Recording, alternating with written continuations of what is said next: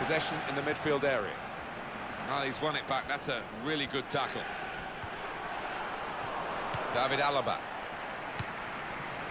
Mario Götze.